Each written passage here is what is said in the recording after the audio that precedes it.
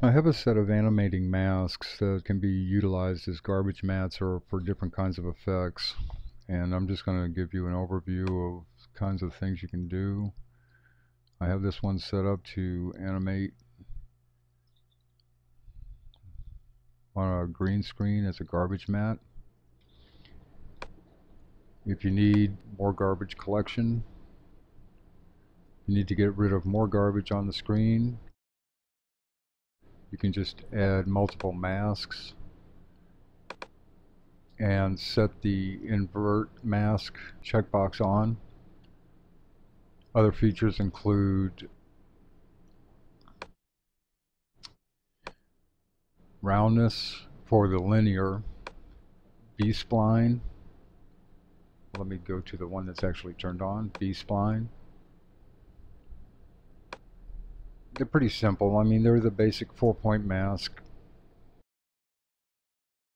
And I have to say, another thing you have to watch out for using these masks is if you try to create a straight line like this. You'll notice it does a 3D flip. So you'll have to watch out for that. Since they're animatable and combinable, they can be grouped together to create you know different kinds of things. Alright, this is the single one.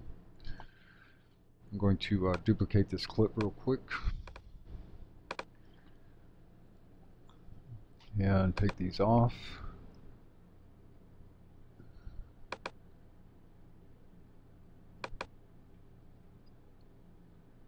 I also have a two mask set. It's two four-point masks combined and the difference here is along with the on-screen controls you also have guides to help you keep track of which ones are doing what. All these points are animatable. The easiest thing to do is move to the beginning of the clip, come out here to this drop down, add a keyframe, and it'll just start the initial keyframe for the entire effect. And then as you advance and move control points, Final Cut will automatically add keyframes at those points in the timeline. And I'm not going to go into an explanation of the mode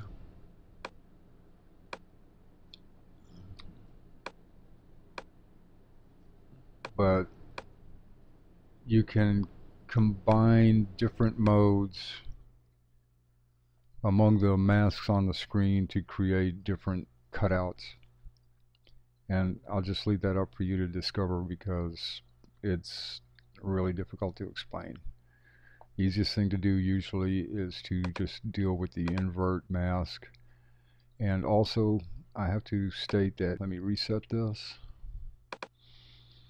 these masks are numbered and layered. This is number one and number two. This one is below this one. And if we go to the four mask set, which gives you 16 control points, then this goes in clockwise fashion.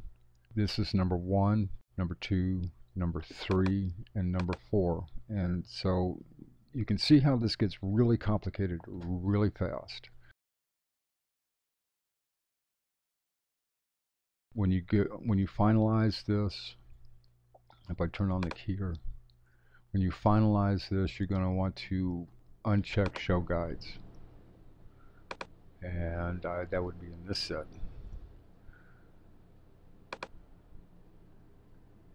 And then when you play this, you won't see the guides, but you'll have your masks in place.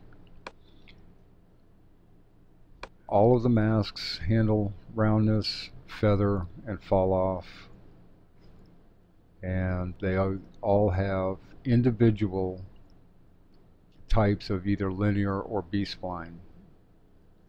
This is a lot of data to deal with in the four group. Sometimes it's easier just to layer on the single mask and deal with the cutouts that way.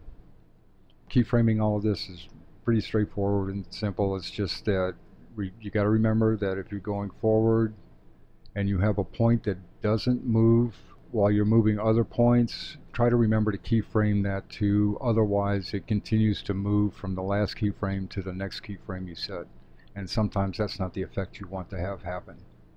Anyway, I hope you find this useful. Please consider making a contribution. You can go to my site. The link will be in the description below. Thank you very much. I will catch you on the next one.